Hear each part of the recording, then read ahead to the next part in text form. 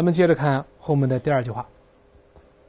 看屏幕，这个第二句话更加复杂。他说：“It is difficult for any of us in moments of intense aesthetic experience to resist the suggestion that we're catching a glimpse of a light that shines down to us from a different realm of existence, different and because the experience is intensely moving in some way higher.”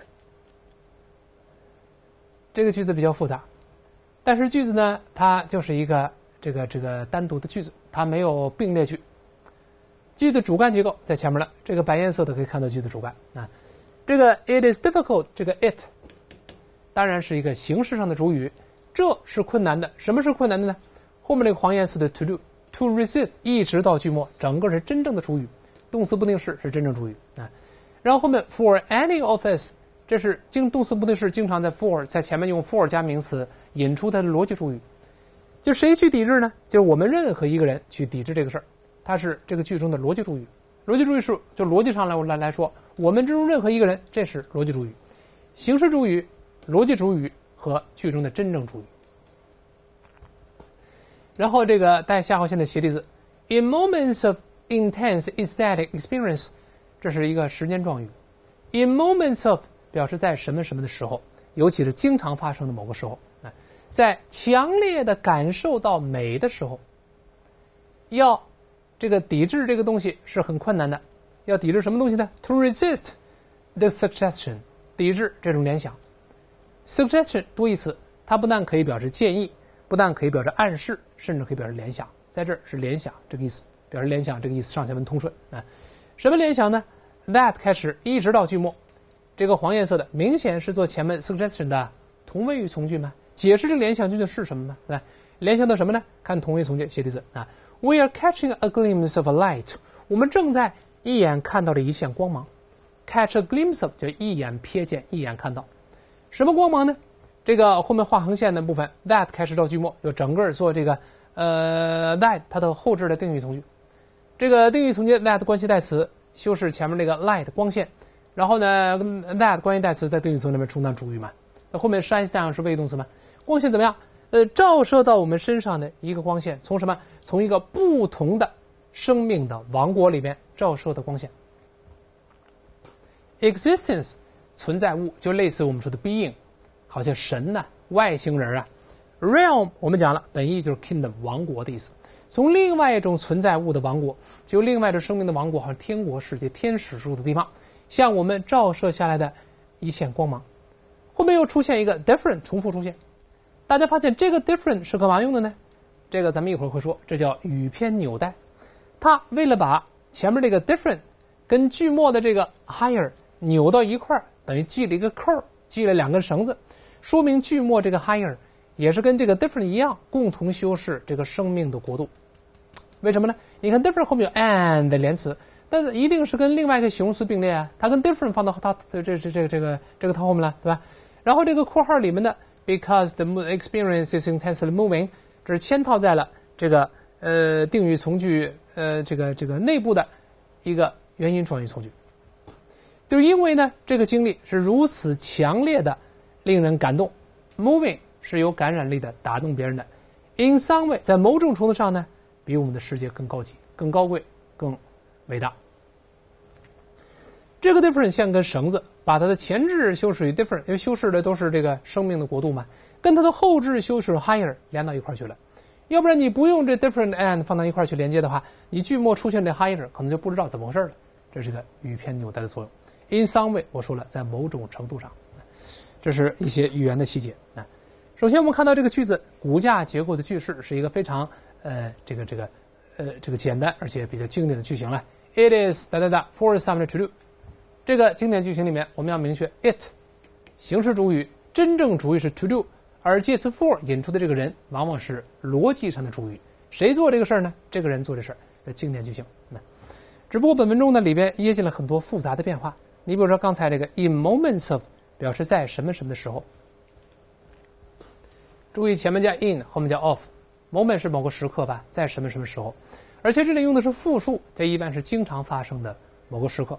你说昨天晚上这个人被枪毙了，这一次性行为就不能用 in moments of，这不行啊。那强烈的感受的美，一生可能有多次嘛，所以用这搭配正确。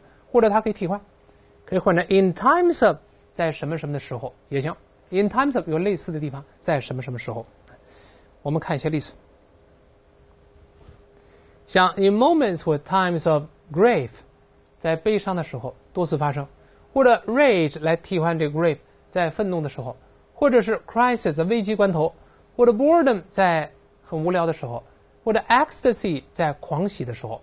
写全了是 in moments of ecstasy 或者 in times of ecstasy，这个在新概念三册四十一课咱们讲过，大声读一下 ecstasy，ecstasy。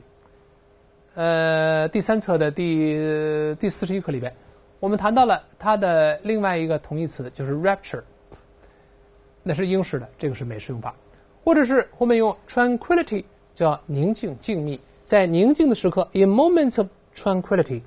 大家还记得我们在呃生词中讲过形容词形式就是 tranquil，静谧的、宁静的、安详的，还记得吗？在什么什么时候啊？好，回到句中，在我们强烈的 intense 强烈的 aesthetic 美学的美的，强烈的感受到美的这个经历的时候，怎么样呢？要去抵制这个联想是几乎不可能的。Resist the suggestion，抵制这个联想，抵制这个联想是很困难的。言下之意是我们一般都会联想到。无论是谁，在强烈的感受到美的时候，一般都会联想到，哎，这个就是要抵制这个联想很困难呗。你发现这个句型啊，特别务实。对于某人来说，要抵制某个东西是非常困难的。这搭配叫 "It is difficult for somebody in moment something to resist something"。在某个时候要抵制某个东西，对他来说太难了。也就是说，在这个时候，这个人一般都会做这事儿。因为抵制他很困难呢，要做很容易啊，所以在某些某些时候，某种人一般都会做某事，是这么一个意思。因为要抵制这东西很难嘛。哎，你比如说，我们看一个简单例子：无论是谁，在欣喜若狂的时候，一般都会想和朋友们一起分享这个快乐，人的本性，对吧？Human nature。那么欣喜若狂的时候，用 in moments of ecstasy 就好了。刚刚见过，哎，试试看啊。好了，我们说，it is difficult for any of us 是干嘛呢？In moments of 在什么时候？ecstasy 来呢？To resist the temptation 这诱惑什么？Of sharing it with our friends。好了，咱们再回顾一下啊。It is difficult for any of us in moments of ecstasy to resist the temptation of sharing it with our friends. 无论是谁，在感受到强这个这个这个强烈的快乐、欣喜若狂的时候，要去抵制，要和朋友们分享他的这个呃这个这个这个诱惑，太难了。就大家一般都会这么做。要抵制某东很难，就一般大多数都会这么做。哎，这个句子可以注意去学习。嗯，好，再回到句中来，我们每个人都会有什么联想呢？看后面的这个同位从句，suggestion 后面有同位从句。来，说 we are。Catching a glimpse of a light，我们正在看到一线光芒，一线光芒。Catch a glimpse of，叫做无意中一眼看到，悠然见南山，这感觉一抬头无意中看到的。有的时候也可以用 catch sight of，意思是类似的，也是一眼看见，一眼搂见啊。但是 glimpse 必须加 a side 前面没有那个 a，没有办法。当常识见一个记一个就好了。大声读一遍：Catch a glimpse of，catch a glimpse of。再读第二个，catch sight of，catch sight of，无意中一眼看到，一眼搂见，哎，可以用它。哎，这个我们甚至还可以直接用及物动词，就是 glimpse，就是瞥见，无意中看到。这个 glimpse 既是名词又是动词，我们大声读一下这及物动词，glimpse，glimpse，无意中一眼看到。你不信，看一下本文中就出现它动词形式。咱们看课文，跟老师一块看书，第十行后面，咱们看课文第十行后面，他说，Before it is fully glimpsed，在它未及饱览之前，这个 be fully glimpsed 就被完整的看到饱览吗？这是动词被动，这用的是这个及物动词用法，就无意中看到、瞥见啊。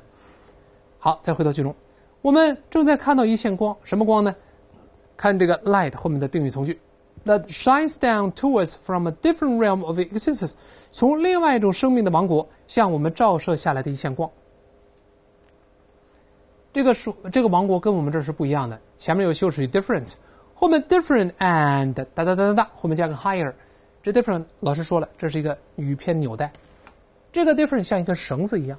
我们再看个图，中间的这 different 很关键，它把这个 realm of existence 它的前置修饰语 different。跟它的后置的修饰语 higher 用绳子拧到一块儿了，因为这个后置修饰 higher 前面有个复杂的元音状语，如果不重复 different，这文章句就荡空了，就读者可能不知道怎么回事了。这是语篇纽带，就是它把上下文从语法和逻辑上紧密的扭到一块儿，一方面呢使文章句子呢不会有歧义，二来把意思向纵深去发展。这个语篇纽带我们写作中也可以借鉴。那咱们再看一些例子。比如说，你看，在本文中第九行末尾也出现了语篇纽带。第九行末尾，咱们看这片段，看屏幕啊。There is no sky in June so blue that it does not point forward to bluer。六月里没有一个蓝天能这么的蓝，以至于不会指向一个更蓝的天。那么，没有一个日落能如此美丽，以致它不会唤起一个更美丽的情景。注意，vision 前面出现过了，后面又说 a vision。重复这个 vision，，什么情景呢？一个还未及饱览就消失掉的情景，并在消失的过程中留下了难以名状的渴望和遗憾之情。这个 vision 把前面这个 vision 重复一遍，也是一个语篇纽带。为什么呢？它又像一根绳子，把这个后面定语从句跟前面这个被修饰词 vision 紧紧绑在一块了。为什么？因为如果你不重复出现这个 vision，我直接跟一个 which 定语从句，那读者就不晓得它修饰的是 vision。还是 beauty，不知道修饰什么了，所以这个 vision 也是个语篇纽带，把前面的先行词跟定语从句粘在一块了，这也是个非常精彩的一个用法。咱们再多看几个例子，慢慢大家就会了。比如说，我们看一下这个呃考研真题片的，这在研究生考试这个一个这个真题片段，阅读真题啊，咱们看这句子：Many species can communicate an amazing amount of information by sound. information on which both the life of an individual and the continued existence of the species may depend。很多物种可以通过这个这个呃声音呢来传递令人惊讶的大量的信息。注意后面 information 重复出现一遍， 为什么呢？这又是一篇语篇纽带，一个语篇纽带，把它的先行词 information 跟后面定语从句扭到一块了。同样的，如果没有重复出现的 information。我就不知道这个定语从句是修饰 sound 还是 information，我们更怀疑是修饰这个 sound，对吧？有了这语篇纽带之后呢，没有任何歧义了，而且意思向纵深发展。而且我们说了，这个在关系代词如果做介词宾语，书面中最好把介词放到关系代词之前，而不要把 on 放到 depend 后面。啊，这是我们的小知识，就是一个人或者整个这个物种的存续所必须基于的这些信息。这个 information 也是一个。语篇纽带，那这种在高级写作中也会出现。咱们看一篇直译写作的范文。直译作文分艺术还有 argument，这是艺术一个范文的片段。他说：“I would argue that although it may be a benefit to study classics and be well schooled in di uh, schooled in diverse disciplines, these pursuits merely refine and hone an ability each and every person has.” The ability to study human nature。他说：“我倒会争辩说呀，尽管呢，那么对于一个这个人来说，学习经典，并且呢，这个在各个不同的学科都加以磨练，这是有好处的。It may be a benefit，的可能是有好处的。 但怎么样呢？This pursuit 这些追求或者这些要做的事情怎么样？仅仅精炼或者是磨砺的这么一个能力。这个 refine 表示使变得更精炼一些。”变得更精华、更更集中一些。这个 hone 干脆就是呃直接用它的本意的派生义，本意是磨刀石，派生义就是磨砺，把它磨锋利的意思啊。那么仅仅是呃精炼，并且这个这个这个这个磨砺了这么一个能力。注意，each and every person has 是定语从句修饰 ability，前面省掉了 which or that，什么能力呢？the ability to study human nature。然去研究人的本性的能力。我们很容易看到这个 ability 明显是为了重复前面这个 ability，为什么呢？这样一来，把前面的要修饰的名词 ability 跟它后面的修饰语 to study human nature，这是动词不定式当后置定了，有机的连到一块儿了。要不然莫名其妙出现个 to do，我知道是跟谁搭配的呢？这也是一个语篇纽带的作用，写的不错。那我们再看看当时这个一篇作文，呃，这个官方对这篇作文的评语，这个作文给了六分满分了。咱们看评语怎么说，考官对这句话也相当欣赏，他评语中这么说：The writer uses language fluently, uh, fluently and controls sophisticated syntax throughout the essay。这个作者用了呃这个流利的使用的语言，fluent，流利的。fluently 有这个流利地啊，并且呢，呃，这个在通篇文章中都掌握住了这个非常复杂的高级的句式结构，syntax 叫句式句法，那 sophisticated 叫错综复杂的。他举了一个例子，你看他引述的正是咱们刚刚讲这个很优美的句子。I would argue that although it may be a benefit to study classics and be well schooled in diverse disciplines, these pursuits merely refine and hone an ability each and every person has the ability student uh, study the ability to study human nature。整个句子翻译一下，啊，我到正面说，尽管呢学习经典并在各个学科领域磨练可能有好处，但是这些要追求的事情，pursuit 可以指这个要追求的事情啊， 仅仅提炼并且磨砺了一个每一个人都应该具备的这么一个能力，什么能力呢？就是研究人的本性的这个能力，很优美，写的不错。那这个本文中呢，呃，在这儿有这个异曲同工之妙，这是个语篇纽带。那好，再回到文中，并且后面说什什什么呢？Different and because the experience is telling moving，因为这种经历如此强烈的富有感染力，这个 moving 是令人感动的，intensely 是强烈的，强烈的令人感动，就是强烈的富有感染力呗。啊甚至在某种程度上比我们世界更高一级。我们的世界没有看到过这么美丽的情景啊！In some way 叫做在某种程度上，这个 way 在这可以表示程度，在某种程度上如何如何。我们也可以说 to some degree 和 to some extent。Degree 和 extent 可以表示程度，但它们一般是跟介词 to 搭配。或者我们干脆用 in some measure 在某种程度上。咱们刚讲过二十三课讲过，measure 做名词也可以表示程度，它本来不是丈量吗？那长短不一样吗？所以指程度也很适合啊。这个我们再看一看二十三课的句子，在二十三课讲过，一百三十二页十二行到第十三行，一百三十二页十二到第十三行，咱们看这句话，他说：“The swallow shares virtue of both schools in highest measure。”小燕子在最大程度上同时具备了两种类别的鸟的这个这个优点。这个 in 什么什么 measure 表示在什么什么程度上，in highest measure 就最大程度上。这个句末的 higher 我们说了是跟前面 different 并列，就是这个王国在某种程度上比我们的世界更美丽、更高级、更灿烂，等等等等，是这么个意思。好，咱们这个第二句话就看到这儿。